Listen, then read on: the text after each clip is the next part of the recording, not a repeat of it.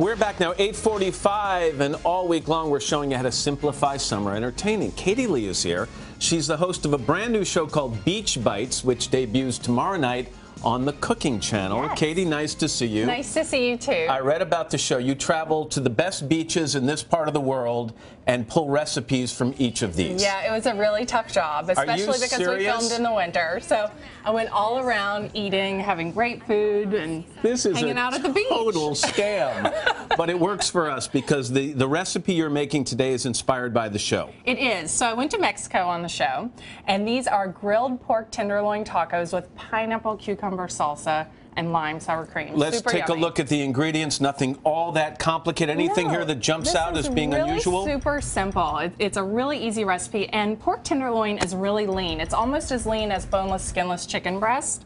So it really needs to marinate to give it a lot of flavor. This is a step you do not want people to skip. no, you got to marinate. Okay. All right. So in the blender, I've got some honey in here, canola oil, and lime juice. Matt, why don't you add the cilantro? Okay. Do And we have our guys downstairs? Yeah. Are you all we? eating? Bowing. Margarita's Hey, unbelievable. The margarita Katie Lee. is We're real gonna- strong. Got a heavy gonna- hand. We're going to get to the uh, the great taco shell debate Oh. in just a second, but go ahead. jalapeno. If you want this really spicy, Mm-hmm. I put in the, uh, Wow. the seeds and the membranes. If not, leave it out. Garlic, lime zest, and chili powder. Okay. Okay, so put the top on the blender. Where's the? Oh, It's right there. Here we go. Got and it. And then blend that up. So I like to blend a marinade because then it gets evenly distributed and really like gets into your meat. So you just want to let it totally puree like this.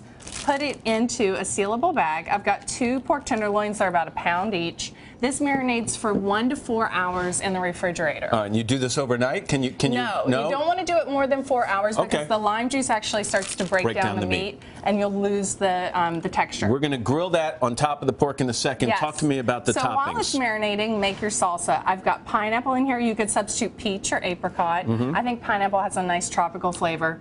Some jalapeno, red onion, lime juice, and cucumber. Why don't you stir that for okay, me? got it. So cucumber has a really high water content and it adds a lot of crunch. And if it's hot outside, a food like that will really help cool you off. What now? I, I saw the sour cream out over on the ingredient table there. What's Mm-hmm. the reason for that? So it's a lime sour cream. So it's just sour cream and lime juice. You know, I think tacos, you gotta have sour cream. Okay. I love sour cream. All right. And then I put it into a squeeze bottle. It makes it really easy to squeeze onto your tacos. All right, back downstairs, guys. You forget the margaritas for a mm-hmm. second. Great flavors. I can. I'm dry. Yeah, you like it? yeah. See, I give So you good. a lot of alcohol, so you'll like the tacos. They're tacos. really good. Yeah, we love the tacos. I love that salsa, that pineapple cucumber. Yum. Good. Yeah. And a soft taco. It's it's like a soft, but like it's also been grilled a bit, right? Yeah. So They've I griddle it hijacked the up. segment here. They, they, Yeah, they just they, taking they took it. it back. That's fine. Sorry. That's good. The pork, take it out of the refrigerator a half an hour before you're going to grill it because if you let the meat come to room temperature, you'll get a better sear. So dry it off, salt and pepper it onto the grill. Since it's so lean, you want to do it really hot and fast to get a sear on it. Then move it to indirect heat. Let it rest for 10 minutes before you slice oh, I'll it meet up. you. All right, now the All debate right. over hard shells Hard or soft, shells. What do you prefer? You like hard shells, I right? do. I like the crunch factor. I'll take it any way I can get it. I like hard or soft shells. Okay, so pork tenderloin goes onto your taco. Why don't you make one? Make it Okay. crunchy. All right. They're harder to And make then- in the crunchy ones because you have to kind of fit it in there a little bit more. And then your salsa. Yeah. I like a little bit of shredded purple cabbage. It gives crunch and like really nice color. Okay, guys downstairs, has anyone changed their cream. opinion on the uh, hard or soft shell debate? We got a whole other thing going on down here. I have you a do feeling. not want to. I have a feeling. Okay, 'cause I know you guys. Thank you very much. I know you guys too well. You already knew it, but as soon as it came out of your mouth, you knew it. Too well. Well, we're forever No, 12. sometimes working with people for too long is not a good thing. It's not a good thing.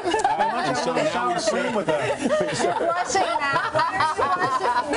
We serve it with the margaritas Have some tequila. and a little fresh lime Honeydew squeezed over the top. margaritas. That nice summer fruit. You know, Keep it sweet. guys, congratulations graduating from third grade. Take, take a bite. Let's eat that. Yeah, okay. Come on. I'm gonna have a All right, bite. I'll Come on, take Mr. a bite. Hard Taco. All right, Come uh, on. She, Come she on. took a bite. I'm going to say, Katie Lee, thank you. Take a bite. For these recipes and more, head to today.com bite. slash Hello, Today fans. Thanks for checking out our YouTube channel. Subscribe by clicking that button down there and click on any of the videos over here.